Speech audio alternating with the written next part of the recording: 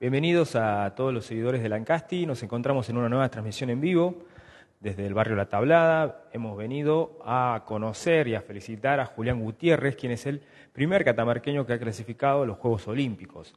La próxima cita mundial va a ser en París, en Francia, entre julio y agosto. Y bueno, y Julián obtuvo la semana pasada el pasaporte luego de imponerse en el CAT, en el Campeonato eh, de las Américas de Tiro.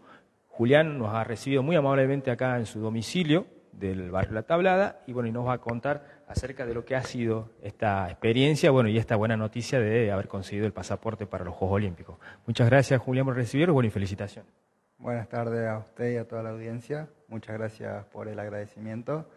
Eh, la verdad que es algo único. Yo ya sabía más o menos de que podía ser el primer deportista olímpico. Al mismo tiempo es algo, uno de los proyectos que teníamos con eh, algunos organismos de la provincia. Eh, después era un sueño como cumplido, era sacarte un peso encima el haber conseguido eso. Era como tomar aire, decir, ya estamos, estamos. Así que bueno, esa fue una de las cosas más lindas, me parece. El obtener el CAT, bueno, es uno, ha sido una de tus metas. Nos comentaba recién fuera de micrófono que es un, un certamen muy complicado, muy prestigioso, que reúne a lo mejor del continente, bueno, y te tocó ganar, digamos que ese era tu principal objetivo y que, bueno, vino como un bonus el hecho de haber obtenido la, plaza de los Juegos Olímpicos. Contanos, bueno, ¿cómo sigue ahora, después de este logro, cómo sigue tu preparación, qué es lo que viene en camino? Sí, el CAT es una de las cosas más difíciles de ganar porque es un juego panamericano normal, pero sumándole un deportista más. Cada, cada país puede presentar tres tiradores en vez de dos y al mismo tiempo no hay un límite de juego vendría a ser. Así que eso lo hace un poco más complicado y este, este específicamente al ser el último y dar plaza se choca el buen nivel que todos están teniendo porque no es que los chicos se están preparando para ganar la plaza, no, todos están con vista a los juegos para tener un nivel decente, pero al mismo tiempo sabiendo que eso está en medio. Es como si lo consiguen, bien, tienen un nivel para esto, pero si no lo consiguen, bueno, está bien. Lo mismo, trabajé de la forma que se correspondía y, tengo un nivel alto. Después, ¿qué era el...? Sí, ¿cómo viene tu preparación? ahora en, a fin de mes, el 27 y 28 estaré compitiendo en San Carlos, Santa Fe. Después, si no me equivoco, tengo que viajar a Buenos Aires, entreno cuatro o cinco días y estaremos viajando a la ciudad de Múnich, en Alemania y ahí competiremos en la Copa del Mundo, que es más que nada el mayor evento de, o sea, el mayor evento de tiro en lo comercial. Después sí hay un montón de tiradores, por lo general se llegó el récord, creo que son 600 tiradores en una sola competencia, es muchísimo, pero vamos más que nada por el hecho de todo lo comercial en lo que nosotros podemos comprar para los juegos, hacerle servir el rifle, testear el rifle, ver que todo esté en condiciones, en mi caso compré un traje nuevo, bueno, me vino un poco grande, listo, tengo que hacerlo arreglar ahí y bueno, ir de las mejores condiciones a ese para París. Después volvemos, estamos dos o tres semanas en Argentina y de ahí salimos para Alemania y nos quedamos en Alemania casi un mes hasta los Juegos. Julián, eh, habías tenido también la posibilidad, la chance de acceder a los Juegos Olímpicos de, los de Tokio, pero bueno, nos contabas recién que este, habías eh, realizado una gran labor, pero bueno, no alcanzó para poder este, ingresar a los Juegos Olímpicos. ¿Qué sentiste, digamos, si te acordás de lo que sentías en ese momento? Este, y bueno, si nos podías describir eso. Y es duro por el hecho de decir cuatro años. Es como, bueno, no, no es que, bueno, de un mes para otro, son cuatro años en donde, bueno, no se te da. Sabes si estás contento del trabajo, de que le lo diste todo. Al mismo tiempo es triste y feliz, y es triste y, bueno, como feliz el hecho de decir, bueno, estuve a un puesto, pero también es triste el decir, estuve a un puesto. Así que eso es medio una doble cara. Lo que sí es, bueno, yo con mi papá lo hablo bastante seguido, lo que él siempre me remarca es ver todo, básicamente. Hacer, a ver qué hiciste en estos cuatro años.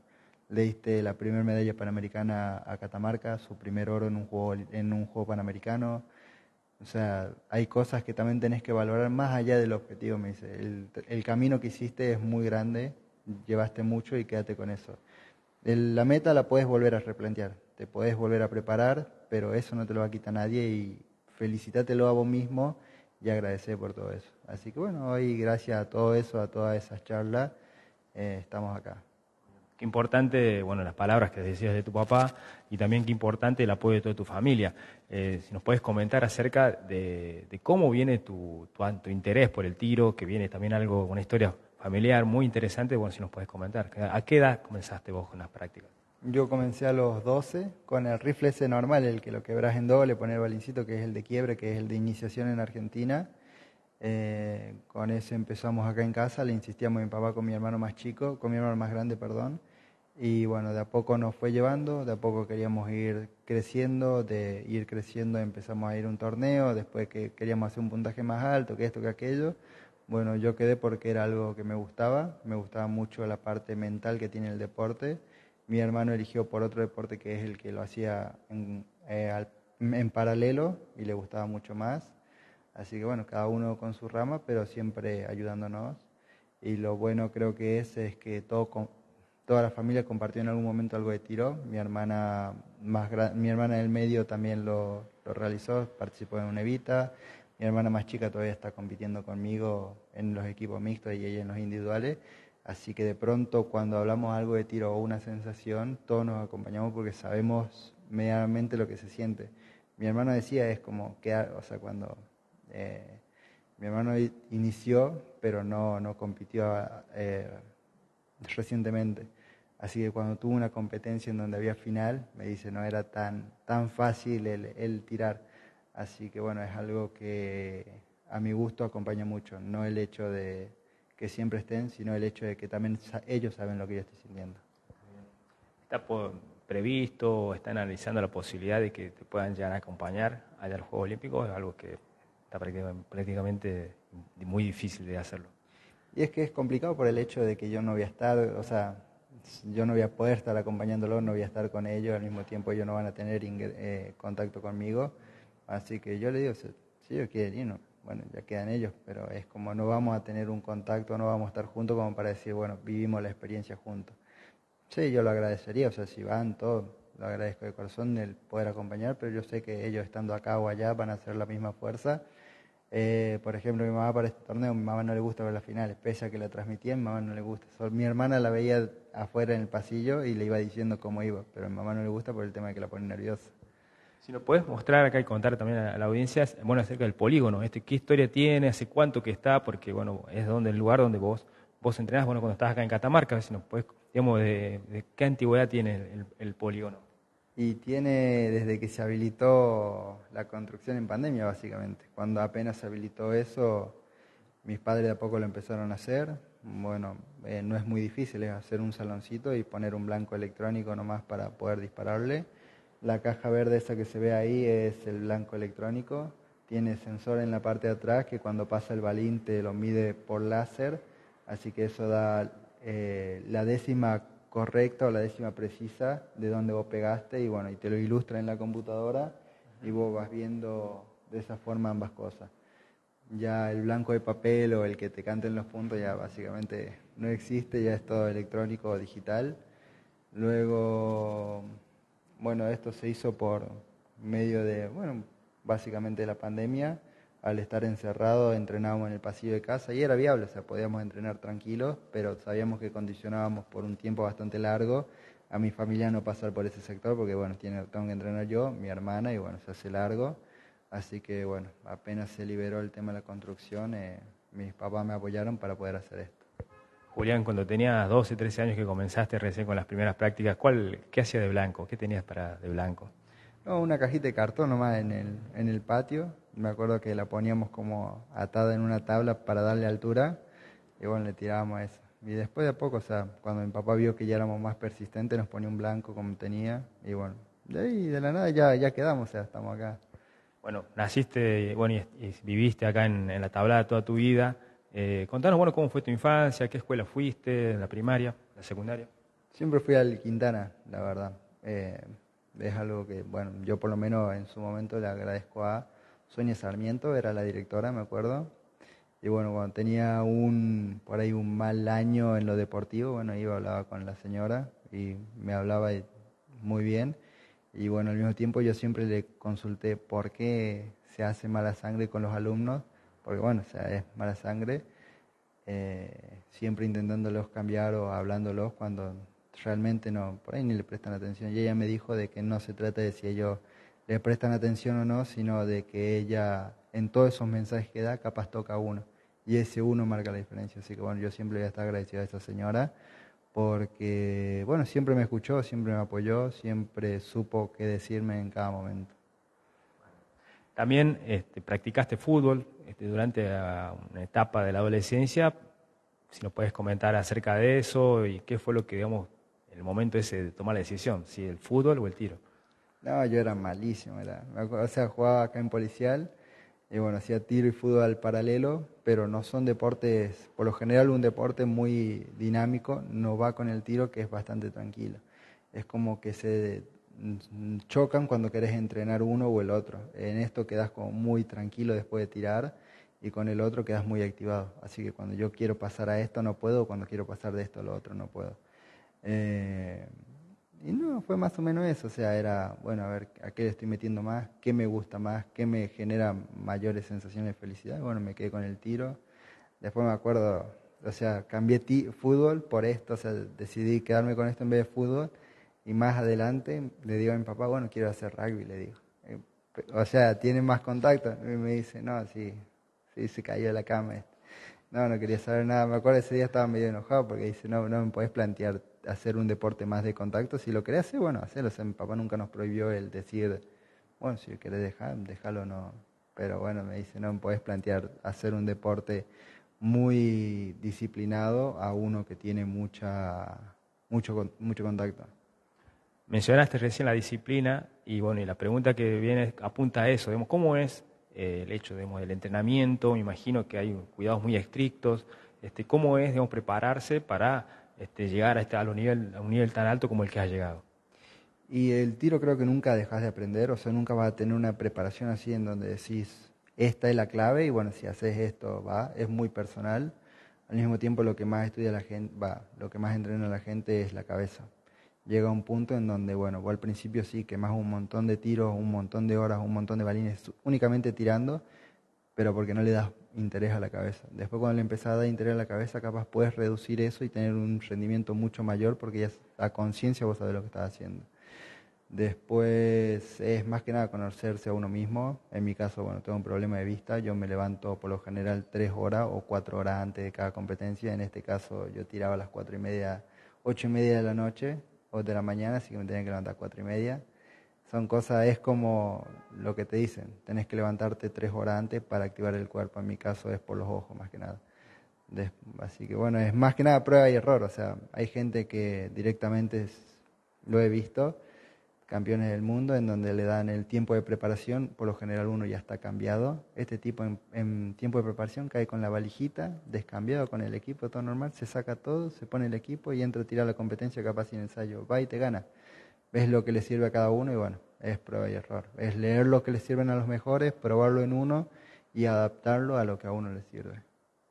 Julián, eh, mencionabas recién también que además, bueno, en forma paralela a tu digamos, actividad deportiva, eh, también estudias, dedicás a, tenés, estás cursando un estudio universitario, si nos puedes hablar sobre eso. Sí, estoy cursando Comercio Internacional en el siglo XXI, estoy en tercero barra cuarto año, la verdad que la vengo llevando bien, es una universidad que, bueno, en mi caso se adapta a mí, porque por lo general si es que tenés que viajar, tenés que presentar licencia deportiva. Después licencia deportiva. Por ejemplo, ahora para los Juegos, ya falté dos, tres semanas, porque me fui una semana a entrenar a Santa Fe, dos semanas en Buenos Aires, tres semanas. O sea, es, mucho. Después yo sé que tengo que viajar ahora en dos semanas, también más. Después sé que me tengo que ir a Alemania, así que es como yo entiendo que los profesores también en cierta parte quieren ver al alumno cuando es presencial, quieren ver la capacidad y bueno, yo no puedo, no cuento con ese tiempo para poder hacerlo, así que tuve que buscar una que me permita tanto rendir a distancia como que se adapte a mis tiempos. Sí, igual bueno, no creo que mucho problema te hagan, digo, no puedo, me voy a un juego olímpico. Claro, no, ahora sí, o sea, es, es distinto, pero bueno, en su momento intenté y no, no me daban los tiempos para poder realizarlo. Bueno, si nos puedes mostrar eh, el rifle con el que... Este, este sería el con el que entrenás, con el que vas a participar. Es con el que compito. Todavía no sabemos bien si es con el que voy a participar o no. Porque, bueno, es lo que le digo, vamos a ir a Alemania a ver todo lo que es la mecánica y básicamente lo comercial. Si esto en algún momento tiene alguna falla, bueno, listo, se lo tiene que cambiar. Lo bueno es que básicamente todo es reemplazable. desarma como, usted quiere y le va comprando las piezas en base a lo que a usted le guste. Después este es un rifle de marca Walter, cuatro y medio, eh, en modelo Monotech. Es el segundo en el mercado en esta marca. El caño es probado en la fábrica, testeado para que vaya bien. Y bueno, es más que nada seguir probando. Probablemente le haga alguna decoración o algo previo a los juegos por una cuestión de agradecimiento. Yo sé que en los juegos no puede ver ningún tipo de parche y eso, pero yo estoy agradecido con toda la gente que viene apoyando, así que seguramente la modifique los colores o le ponga algún tipo de logo de la provincia o de alguna institución. Por último, Julián, para no quitarte más tiempo, eh, ¿tenés algún tipo de, de cábala? ¿Crees algo en eso? ¿Algún tipo de ritual? ¿Algo que hagas antes de cada competición? No, antes tenía, se lo juro, tenía una estampita de, de Jesús, pero ya daba pena la estampita, o sea, ya no, era, no, no, no se leía la oración por atrás, no se lo veía Jesús pero el papelito estaba y varias veces se me la perdió en competencia y me la devolvieron. O sea, un tirador X me dijo, toma este estudio. Sí, sí, bueno, era medio raro. Y bueno, esa la perdí hace poco, pero había algo que siempre me venía acompañando y mi mamá tiene, bueno, o sea, la mamá falleció ya hace mucho y le quedó un rosario de, de la mamá. Así que bueno, me lo dio en mi primer viaje, me acuerdo, mi mamá medio por ahí artista y llora y todo. Y bueno, se largó a llorar todo, bueno, o sea, yo lo valoro, o sea, sé que es algo de la madre, sé que es algo importante y siempre me acompaña, o sea, eso por lo menos es algo que, que lo tengo muy presente, nunca, nunca me falta. Bueno, muchísimas gracias Julián por estos, por estos minutos, te felicitaciones nuevamente, bueno, la verdad que sos un verdadero ejemplo para, para la provincia, para los jóvenes también, así como te deseamos lo mejor para, bueno, para París y bueno, seguramente vamos a estar hablando próximamente o bueno, cuando vuelvas de ahí. Muchas gracias por la nota y por la difusión del deporte, porque bueno, pese a ir a un juego olímpico no deja de ser un deporte bastante amateur, bastante desconocido, poco particular, así que bueno, muchas gracias por eso, por su tiempo también. Así que bueno, un saludo a toda la gente y bueno, también quería agradecer a la Municipalidad de Catamarca, porque realmente me viene apoyando desde muchísimo. Este era uno de los proyectos que teníamos, el clasificar un juego olímpico. Y es lo que le digo, o sea, a veces no se da, es como Tokio, o sea, no, no se dio y pese a que no se diera, ellos siguieron atrás apoyándome y bueno, hoy se dio, hoy podemos festejarlo. Es un trabajo en conjunto junto al intendente Gustavo Sadi, al dirigente, eh, va a la diputada Cecilia Barro y al dirigente Ricardo Barro. Son gente que estuvo muy cercana a mí, así que bueno, estoy bastante agradecido. Muchas gracias. Julián Gutiérrez, el primer catamarqueño en participar en los Juegos Olímpicos. Hemos estado acá en Lancasti en exclusiva, bueno, conociendo eh, su casa, su intimidad, el lugar, el polígono en donde entrena. Este, bueno, así que seguramente estaremos teniendo más novedades de él. Les agradecemos a nuestros seguidores que han estado atentos a esta transmisión en vivo y será hasta cualquier momento. Muchas gracias.